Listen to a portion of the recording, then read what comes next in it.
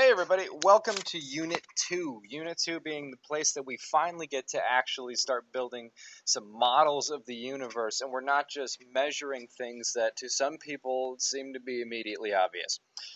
So, I just wanted to start off by comparing Unit 2 to Unit 1.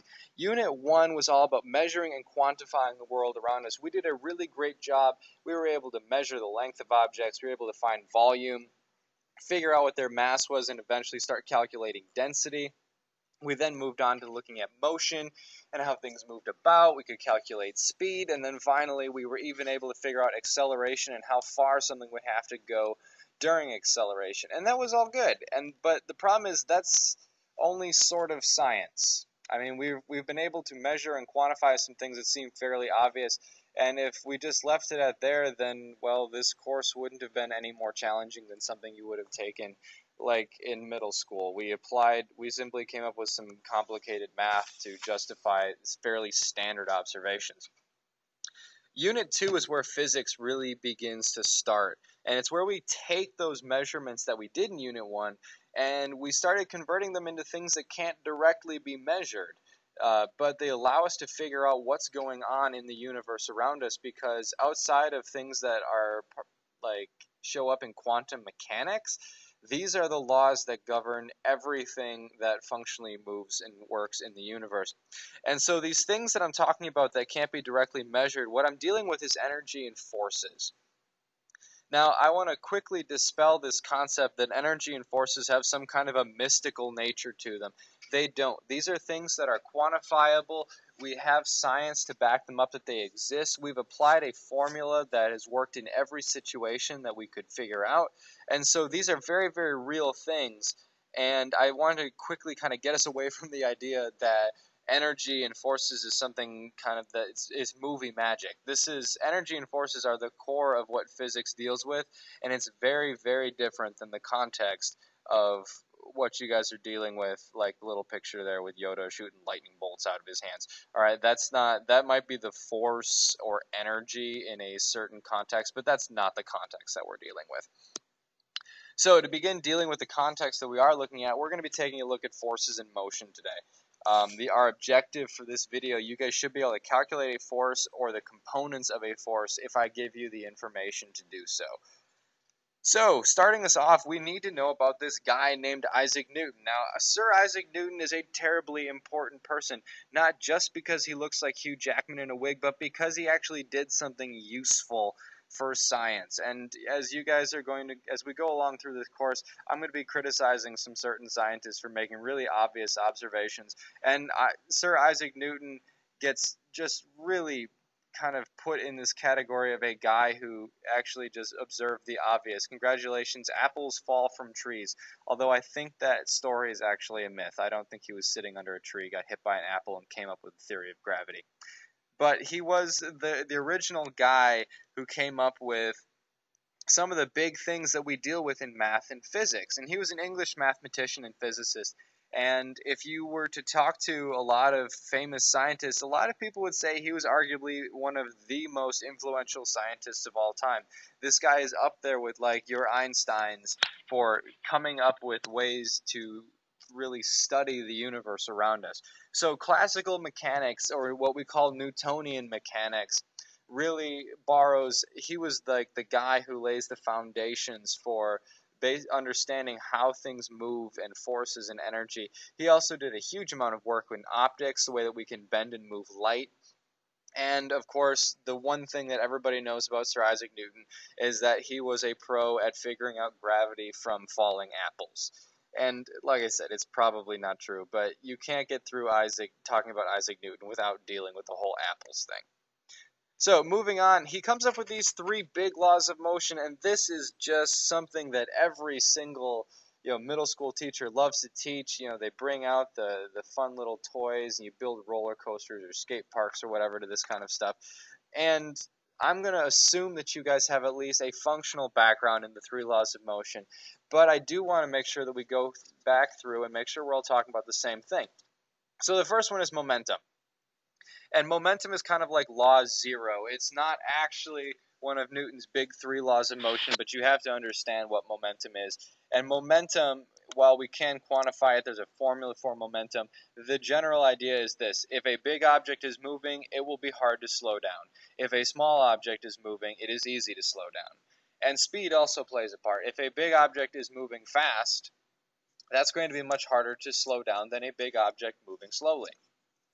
And anybody who's ever shot a gun knows that the opposite is true, that a small object moving very, very fast is very difficult to stop. Okay, you can't just reach out and grab a bullet out of midair, and if you did, it would do a lot of damage to you because it has a huge amount of momentum. It's moving quickly. So, momentum, we're dealing with the size of the object and how fast it's moving, and we're thinking about how hard would it be to change its direction or to slow it down or speed it up. So, that's just kind of the basis uh, or one of the kind of big concepts that we associate with motion and then we get into Newton's actual three laws, which are right here. And the first one is the law of inertia, that an object will continue doing whatever it is doing until something tells it to do otherwise. And it's it's supposed it's really really obvious. I'm I'm sorry, but it, and it has you know it has merit to it, and it does establish some things about motion, but it's really obvious. So a book sitting on a table will continue to sit on a table until something moves it off of the table. And that's just the way it is. Your room will not clean itself. A, a statement made by every mother ever, and congratulations, that's the law of inertia. Now, it can work the other way. A ball rolling across a frictionless surface will keep rolling across a frictionless surface until somebody stops it. So it can it does involve motion. It's not only about objects sitting still, but inertia is the the tendency of an object to keep doing whatever it is doing. The second one, Newton's second law, is the one that we will focus on the most, and that is force is equal to mass times acceleration. And the bigger something is, the more force is required to accelerate it. So we're going to quickly break this one down. This is a formula I will give you later, but you have to become familiar with F equals ma force is equal to mass times acceleration. And so if I have a really large object, it is going to take a huge amount of force to get it to accelerate. If I want something to have a huge amount of acceleration, once again, it's going to require a large amount of force. Um, on the flip side, a large, uh, large object that is moving very, very quickly or is accelerating very quickly has a huge amount of force behind it. So understand law 2, force is equal to mass times acceleration. And then law 3, the fuzziest of all the laws, the laws that early sciences really, really struggle with because students at that point don't have kind of the cognitive thinking skills to worry about this one. But every action has an equal and opposite reaction. My favorite statement for this one is if I have a guy that is falling and oh oh look ah he's falling very quickly it's not him hitting the ground that's going to kill him, it's the ground hitting him back. So when he hits the ground, he is going to apply a force into the ground. Oh wait, I just realized that's outside of the screen that you guys can see. There's the ground. You guys can see that. When he hits the ground, he is going to apply a force into the ground, and that's all good and well, except that the ground is simultaneously going to push back on him. And it's not him hitting the ground that winds up killing him. Go away. It's the ground hitting him back that kills him. Every action has an equal and opposite reaction, and this is something that we will we will visit over and over again as we move through this unit. So, forces. Forces in general are described as being a push or a pull that acts upon an object as a result of its interaction with another object. The really important part is I'm going to go ahead and highlight is that a force is a push or a pull all right, it has to move something, and it has it has to cause a a little bit of acceleration for this thing to happen. And in order for something to accelerate, it has to be moving. So a force is a push or a pull, and we measure forces in newtons. Now we've used newtons before in Unit One. Newtons was our unit for weight, if you guys remember right. Newtons was the uh, sorry, newtons was the unit for weight because weight we factored this one as mass times gravity weight is equal to mass times gravity. Well, look, I have a mass and I have gravity, remember, is an acceleration. So I have a mass times an acceleration. And so this is Newton's second law right here. Law 2, F equals ma. And we can break all of these forces down into one of two things. Basically, all forces are either contact forces, which means that something has literally collided with something else. Um, otherwise, it's an action at a distance force, which means something is kind of drawing it closer like a magnet would. Now I'm going to go over a couple of quick forces. Here's a list of ones, the frictional force, tension force, normal force. These all require contact or physical collisions to happen in order for these to work. The other ones are the action at a distance forces. This would be like gravity being one great example. Gravity doesn't reach out, grab you, and pull you towards the center of the earth that would be not only kind of disturbing and creepy, but also incredibly obvious. Gravity works in a much more mysterious way, where you are you're being drawn towards it almost like a magnet. So those are action at a distance forces. Here's a couple of quick examples. The applied force, one that you guys will have to know, that's F sub APP. Um, the applied force is literally a force that is moving something in a direction. So if you were pushing a desk across the room, you are applying a force to the desk, and that's where we get the phrase applied force. Now, it has to move in order for the applied force to happen, and the thing that opposes all motion is known as the friction force. You guys can see down here with my diagram of the lawnmower. I've got a guy who's pushing a lawnmower forward, and friction force is holding it back.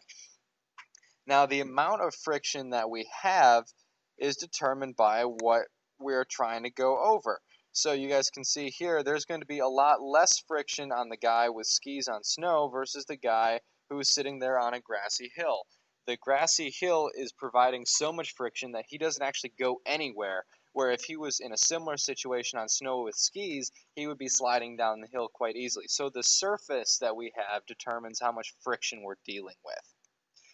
Gravitational force, something that I have already talked about, and once again, I have the lovely apple dropping out of a tree. Thank you, Sir Isaac Newton. I don't know why that had to be such a big discovery, but thank you.